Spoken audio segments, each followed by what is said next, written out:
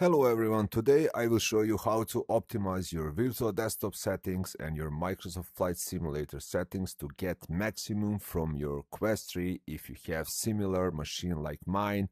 I have RTX 3080 12GB, Ryzen 9 5900X and 32GB of RAM. So Actually, if you have 3070, 3080 or 3090, you should be fine with these settings and get stable 45 FPS in, in your Microsoft Flight Simulator.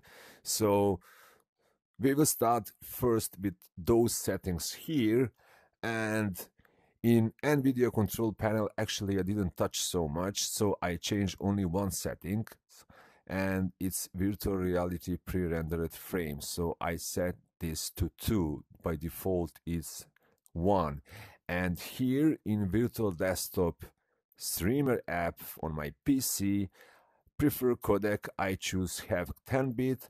I can choose AV1 10 bit Quest 3 because I don't have RTX 40 series OpenXR runtime is VDXR and all other settings actually I didn't touch they're all by default. And here on virtual desktop on my Quest 3 I set VR graphics quality to godlike.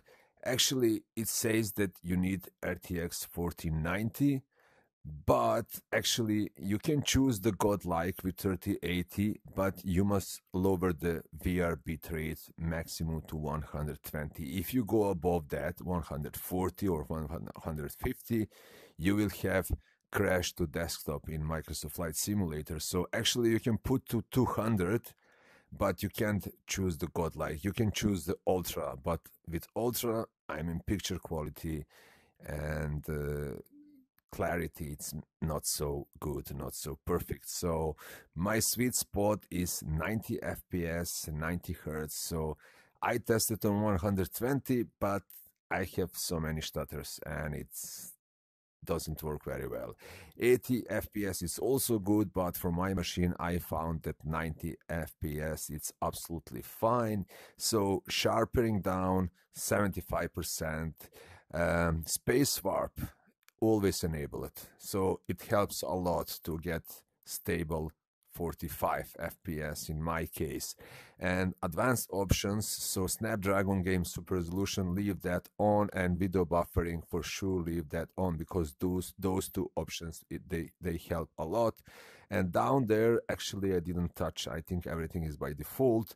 Uh, yes, increase color vibrance. Yes, it looks better and increase video nominal range make dark colors darker and bright colors brighter. It depends of you. Personally i don't like and also show performance overlay. So yes i watched so many videos on youtube test with microsoft flight simulator and virtual desktop on quest 3 and so many people they say that you need powerful gpu like a rtx 4090 if you want to get good picture quality and and maximum from your quest. 3 actually i don't agree with that. After all that videos i still believe that i can set up the quest 3 uh, optimal for my for my machine and it's really like that like that. I i get stable 45 fps with my rtx 3080 12 gigabytes. So Yes, I mean, let's let's jump to Microsoft Flight Simulator. I will show you there my settings and we will make test flight in New York. So actually if it's working very well in New York, it should work everywhere where, where you fly. So New York is like a measure for stable performance. Okay, here we are in Microsoft Flight Simulator settings. As you can see, I'm using DirectX 11. Those settings are for monitor and I will switch here to my VR settings. Those are my VR settings as you can see here. Uh, feel free to copy them and to try to test how it's working for you if you have similar machine like mine. So you can check all these settings here and those settings are optimal for my machine to get 45 FPS with my Quest 3. So now let's jump in flight. So here we are in New York City. I choose Discovery Flight and we are in Cessna 172 and as you can see up 45 FPS in OpenXR Toolkit. Don't look down on performance overlay because it doesn't show correct because I turn on space warp and it's always turned on. So actually we get uh, 45 FPS, not 90 as it say there. And latency, as you can see, uh, 59 milliseconds, game 0 milliseconds, but that is thanks to turbo mode. Uh, take attention on performance overlay. Take attention on latency. It's 59 milliseconds, and here is game 0 milliseconds.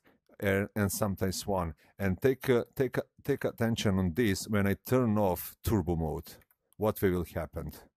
Look now, the game is 20 milliseconds and latency is 79 is going to 80 as you can see so actually turbo mode it helps with latency and yes i mean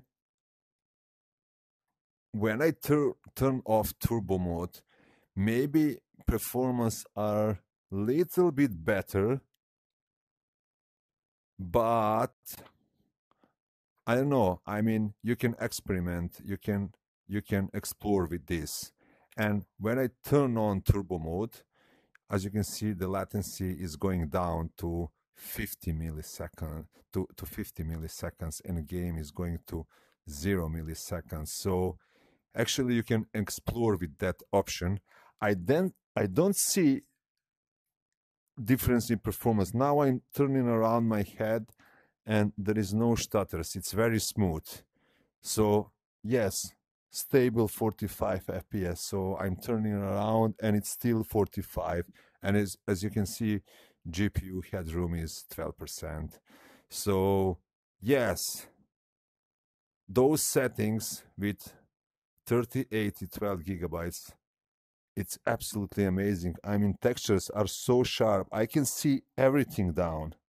It's so clear. I mean, Quest 3 is amazing headset. I, I, I was using HP Reverb G2 for two years, but the difference between G2 and Quest 3 is, is really big. I mean, it's, it's a huge difference. And for sure, it's better overall, overall experience with Quest 3 is better. So, yes, as you can see, in New York City, stable 45 FPS. And this is amazing that you can get this with 3080 or maybe 3070 or 3090. But the point is to not spend more than 2000 euros on 4090. It's not fun for me. I mean, if I spend 2000 euros honestly it should it should prepare free coffee for me every day i see some people on youtube they have 4090 and they lowering the settings in microsoft flight simulator. That's the nightmare.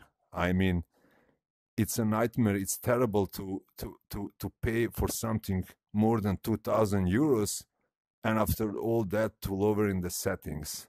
I mean for me it's better to lower in the settings for 600 euros not for 2000 so actually my point is to not give so much money on machine to not give so much money on the gpu and to be happy so this is it this is amazing as you can see up 45 fps very stable above the new york look at these textures oh it's so clear, so sharp. This is amazing. Yes. Thank you very much for watching and see you next time.